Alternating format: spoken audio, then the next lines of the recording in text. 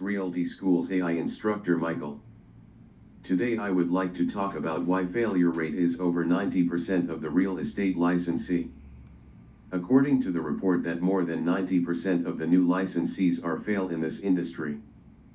I noticed that the failure rate is over 90% and most of that 90% failure real estate licensees leave the business within 6 months, the rest wash out within 2 years or so.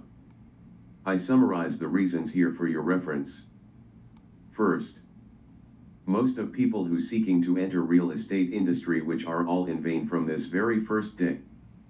Since people only think that I have the ability to pass the exam easy, although, it is not true. My research that California alone has over 1500s of people taking exam each week. Passing rate is less than 30% let alone that some people look down the real estate course and degrading about the certificate's requirement before they can file for the state exam. Secondly, people think as long as they get the license, they are ready to fly. Third, people do not understand that this is almost same as that you create your own business from the scratch. Last but not the least, you need to investment on this real estate business but most of new licensee do not aware of this until they pass the exam. Expense includes 1. Real estate board fee which is $960 per year. 2. Broker company desk fee, monthly fee, and slash or legal advising fee may cost you $3,000 a year. 3.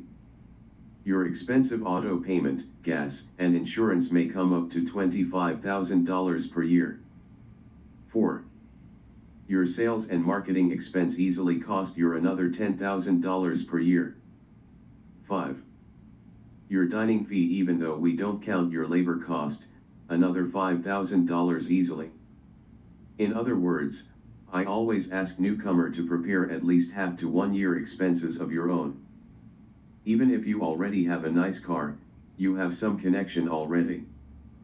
Most of the new licensee continuing take training course at least one year is absolutely necessary.